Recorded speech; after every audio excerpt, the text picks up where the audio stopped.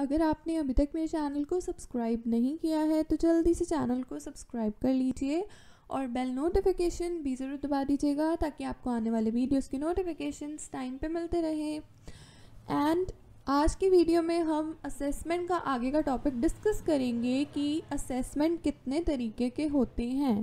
Types of assessment मतलब आंकलन कितने प्रकार का होता है। इससे पहले हमने मेज़रमेंट के बारे में, मापन के बारे में पूरा टॉपिक डिस्कस किया हुआ है और असेसमेंट के मीनिंग डेफिनेशन के बारे में भी हमने लास्ट वीडियो में डिस्कस किया था। आप जा करके प्लेलिस्ट में चेक कर सकते हैं जो हमारा असेसमेंट ऑफ़ लर्निंग सब्जेक्ट है, उसी नाम से इसकी प्लेलिस्ट बनी हुई है। तो चलिए आज की वीडियो में मैं आपको बताऊँगी कि कितने तरीके का असेसमेंट या फिर आंकलन होता है। टाइप्स ऑफ़ असेसमेंट ये आप देख सकते हैं, ये बहुत सारे टाइप्स का होता है। तो सबसे पहले हम बात करते हैं फॉर्मल असेसमेंट हम ये भी बात करेंगे कि ये असेसमेंट्स हैं क्या? पहले नाम देख लेते हैं। एक होता है फॉर्मल असेसमेंट फिर होता है इनफॉर्मल असेसमेंट उसके बाद है ऑब्जेक्टिव असेसमेंट फिर है subjective assessment formative assessment summative assessment diagnostic assessment internal assessment external assessment continuous and comprehensive assessment, known reference assessment, criterion reference assessment, synoptic assessment terminal assessment continuous assessment अब ये इतने तरीके के असेसमेंट होते हैं ये तो हमें पता चल गया।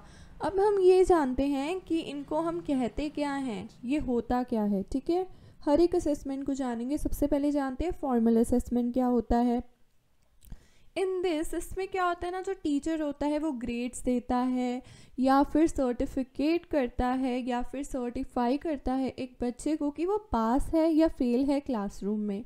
साथ साथ में बच्चों को प्रमोट किया जाता है। इसमें ये बताया जाता है कि बच्चा फेल है पास है, उसको उसी क्लास में रहना है, या फिर उसको नेक्स्ट क्लास में भेजा जाएगा।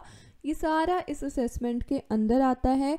यहाँ पे ये सारा जजमेंट जो होता है, ये सारा जो फ़ैसला लेना होता है, ये टीचर बच्चे के परफॉर्मेंस के हिसाब से लेता है, जो उसने क्लासरूम में परफॉर्म किया है कि बच्चे ने किस तरीके से क्लासरूम में पढ़ाई की है, कैसे वो डिसिप्लिन में था, नहीं था, क्या बिहेवियर था बच्चे का, कितना वो अटेंटिव था, नहीं था, इन चीज़ों को भी ध्यान में रखा जाता है और ये असेसमेंट बेसिकली रिटर्न फॉर्म में होता है।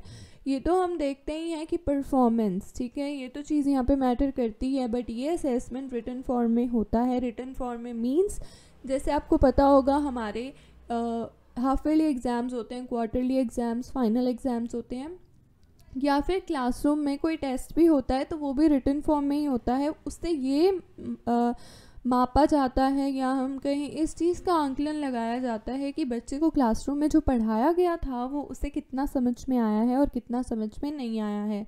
उसके बाद आता है इनफॉर्मल असेसमेंट इसमें जो टीचर होता है वो बच्चे के लर्निंग डिफ़िकल्टीज़ को ऑब्ज़र्व करता है एंड वो इफ़ेक्टिव स्टेप्स भी लेता है उन डिफ़िकल्टीज़ को ओवरकम करने के लिए। मतलब वो बच्चे की मदद करने की भी पूरी अपना आ, मतलब पूरा अपना इन्वॉल्वमेंट दिखाता है बच्चे का पूरी पूरी मदद करने के लिए, आगे स्टेप उठाता है, ताकि बच्चे की जो लर्निंग डिफ़िकल्टीज़ हैं, जो उसे दिक्कत हो रही है याद करने में, वो भी दूर हो जाए, साथ में बच्चे की लर्निंग एनहेंस हो जाए। मतलब बच्चे की लर्निंग अच्छे तरीके से टेक प्लेस करे, उसे और अच्छे तरीके से चीज़ें समझ में आने लगे। ये type of assessment written form पे बेस्ड नहीं होता है, यहाँ पे असेसमेंट ऑब्जर्वेशंस पे बेस्ड हैं, जैसे कि वो किस तरीके से बिहेव कर रहा है, क्या बोल रहा है, या फिर ओरली अगर उससे कोई क्वेश्चन पूछा गया है तो वो उस किस तरीके से उस क्वेश्चन का आंसर दे रहा है? दे रहा है या नहीं दे रहा है? ये सारा इन्फॉर्मल असेसमेंट में आ जाता है। इवन एक टीचर जो है बच्चे से नॉर्मली बातचीत करके भी पता लगा सकता है कि बच्चे को कोई डिफ़िकल्टी है लर्न करने में या नहीं है।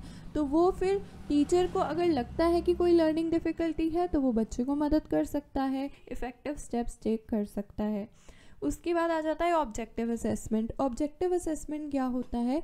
इसके अंदर टीचर जो है, वो स्टूडेंट के लर्निंग को इस तरीके से असेस करता है जहाँ पे वो ऑब्जेक्टिव टाइप क्वेश्चंस बच्चे से पूछता है। जैसे उसने मल्टीपल चॉइस क्वेश्चंस पूछ लिए fill in the blank question पूछ लिए मैच द फॉलोइंग पूछ लिए, या फिर अनालोगी टाइप क्वेश्चन उसने पूछ लिए।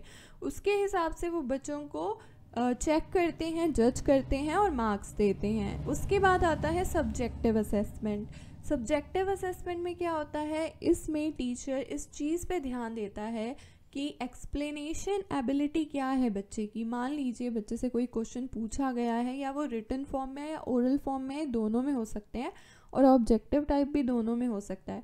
अब मान लीजिए क्वेश्चन कोई पूछा गया बच्चे से कि वो, फिर वहाँ पे ये देखा जाता है कि वो किस तरीके से उस चीज़ को एक्सप्लेन करके दर्शा रहा है, किस तरीके से वो एक्सप्लेन कर रहा है। एग्ज़ाम्पल है जैसे लॉन्ग क्वेश्चन आंसर बच्चे से पूछ लिए, ऐसे टाइप क्वेश्चन पूछ लिए। स्टूडेंट्स अपने फीलिंग्स को यहाँ पे एक्सप्रेस करते हैं। नेक्स्ट असेसमेंट है डायग्नोस्टिक असेसमेंट इस टाइप के असेसमेंट में जो टीचर होता है वो डिटरमाइन करता है बच्चे की क्या स्ट्रेंथ है, क्या वीकनेस है, क्या नॉलेज है, कितनी नॉलेज बच्चे के पास में है और कितनी वो गेन कर रहा है, क्या स्किल्स हैं बच्चे की। इन सारी चीज़ों को डिटरमाइन किया जाता है एनालाइज किया जाता है और ये टाइप ऑफ़ असेसमेंट जो है इस प्राइमली यूज़ होता है बच्चे के डिफ़िकल्टीज़ को डायगनाइज करने के लिए। उसके बाद है इंटरनल असेसमेंट इंटरनल असेसमेंट और एक्सटर्नल असेसमेंट ये तो बहुत कॉमन वर्ड्स हैं। कॉमन चीज़ें हैं जो हम नॉर्मली अपने स्कूल लाइफ में कॉलेज लाइफ में सुनते हैं। इंटरनल असेसमेंट क्या होता है? इसमें जो टीचर होता है, वो बच्चे को इवेलुएट करता है। What they do when they are in the classroom जब बच्चे क्लासरूम में हैं तो वो क्या कर रहे हैं? This assessment serves a basis for professional development के लिए एक बेसिस सर्व करता है। इस असेसमेंट में टीचर वैल्यूएबल इंफॉर्मेशन कलेक्ट करता है स्टूडेंट के बारे में क्लासरूम में। बेसिकली क्या होता है ना, बच्चे को कोई एक्सपेरिमेंट सिखाया गया है या फिर कोई भी वर्किंग मॉडल के बारे में बताया गया है तो बच्चे से जब एग्ज़ाम होता है तो बच्चे से उन चीज़ों के बारे में पूछा जाता है और किस तरीके से बच्चा बता रहा है एक तो इंटरनल असेसमेंट वो होता है। दूसरा इंटरनल असेसमेंट होता है कि बच्चे को आ, मतलब बच्चा क्या कर रहा है क्लासरूम में जब वो है वो चीज़ भी मैटर करती है क्योंकि डिसिप्लिन बिहेवियर ये सारी चीज़ें बहुत ज़्यादा मैटर करती हैं असेसमेंट में तो ये इंटरनल असेसमेंट के अंदर भी आ जाती हैं। अब बात करते हैं एक्सटर्नल असेसमेंट की। Assessment is also known as standardise assessment भी हम एक्सटर्नल असेसमेंट को कहते हैं।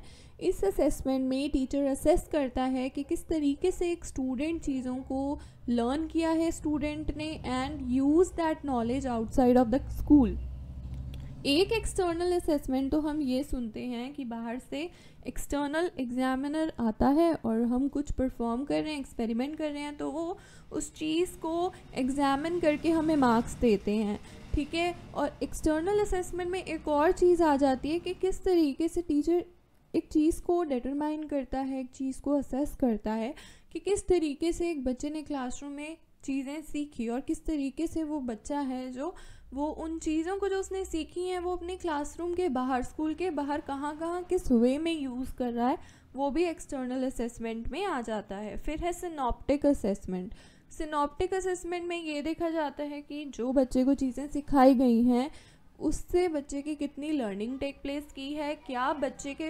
बिहेवियर में या फिर बच्चे की पर्सनालिटी में कितना चेंज आया है? कितना बच्चे का डेवलपमेंट हुआ है? और जो चीज़ें उसने सीखी हैं, वो चीज़ें उसने अपनी डे टू डे लाइफ में कहाँ यूज़ की हैं और कहाँ यूज़ नहीं की हैं? अब बात करते हैं नॉन रेफरेंस असेसमेंट की। नॉन रेफरेंस असेसमेंट में क्या होता है? टेस्ट लिए जाते हैं रैंक्स दिए जाते हैं और बच्चे, बच्चों के आपस में कंपैरिजन किए जाते हैं like first second third fourth criterion reference क्या होता है? इस असेसमेंट में परफॉर्मेंस जो होती है स्टूडेंट की वो मेज़र की जाती है, एक सेट ऑफ़ क्राइटेरिया फिक्स करके। कि हाँ इस क्राइटेरिया में 90 टू 100 के अंदर जितने बच्चों के मार्क्स आए हैं, वो किस क्राइटेरिया के हैं? फिर सेकंड 80 टू 90 के बीच में कितने मार्क्स आए हैं?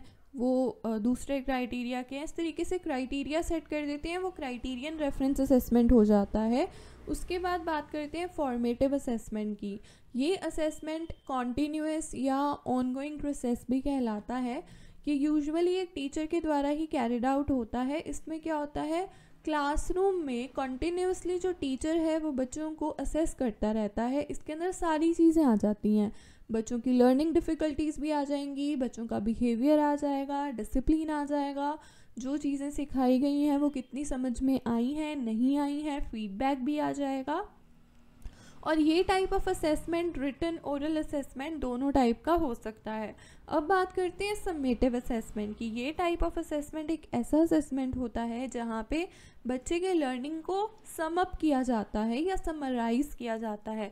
यहाँ पे ये चीज़ देखी जाती है कि कितना बच्चे का डेवलपमेंट हुआ है एक पर्टिकुलर टाइम पीरियड में और सबमेटिव असेसमेंट एक ऐसा असेसमेंट होता है जो at the end of the year होता है या हाफ़ ईयरली क्वार्टरली या फाइनल एग्ज़ाम्स में होता है। ठीक है, यहाँ पे कोई फॉर्मेटिव असेसमेंट नहीं होता, यहाँ पे सबमेटिव असेसमेंट होता है, जहाँ पे बच्चे को रैंक्स दिए जाते हैं like yearly exams end of the course अब बात करते हैं टर्मिनल एग्ज़ाम्स की। टर्मिनल एग्ज़ाम्स तो हमें पता ही है half yearly quarterly final exams इनको टर्मिनल एग्ज़ाम्स कहते हैं। या first term second term third term हम बोलते हैं या सेमेस्टर वाइज बोलते हैं। नेक्स्ट है कॉन्टीन्यूस असेसमेंट वही है जो फॉर्मेटिव असेसमेंट था। ऑन गोइंग जो बेसिस होता है ऑन गोइंग बेसिस पे ये डिपेंड करता है और हमेशा चलता रहता है। सो so, आपको वीडियो अच्छी लगे तो वीडियो को लाइक करना शेयर करना ना भूलेगा चैनल को सब्सक्राइब करना ना भूलेगा बेल नोटिफिकेशन को दबाना ना भूलिएगा।